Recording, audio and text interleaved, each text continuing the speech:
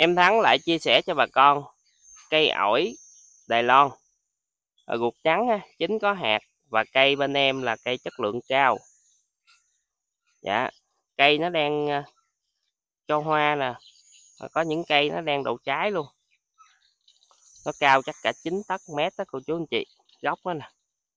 Em nuôi ngon hết rồi.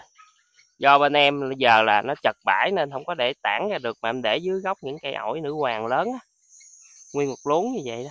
Đó các em chen vô. Cái này á bà con chúng ta mua về trồng thùng xốp trồng sân thượng à, mình trồng ra đất cũng được ăn chơi cũng được. Rất là đẹp cây cốt to.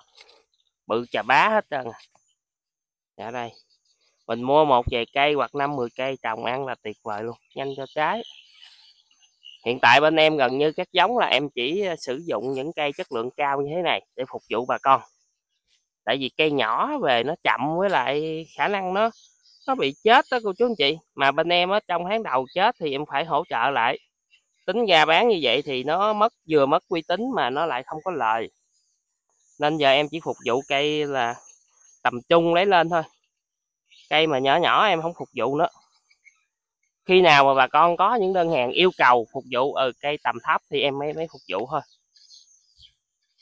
Chết chết đền giết mệt lắm anh chị. Đền rồi mất uy tín nữa mất thời gian của mình.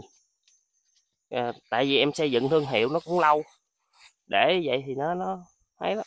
Cây này thì rất dễ ra trái về bà con trồng xuống tưới nước là được.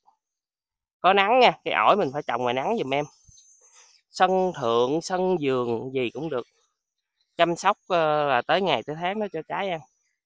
Dạ cô chú yêu thương ủng hộ thì em ờ, ship tới nhà. Hàng ngày bên em nhân viên cũng có like ha. Dạ cảm ơn bà con.